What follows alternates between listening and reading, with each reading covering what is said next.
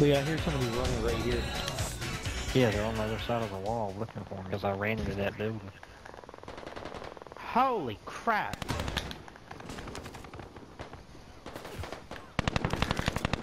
I down. I killed one. Trying to come up behind them. I ain't got no armor. That lady was mad. I just executed somebody. I didn't have a weapon, so I executed him. Oh my god.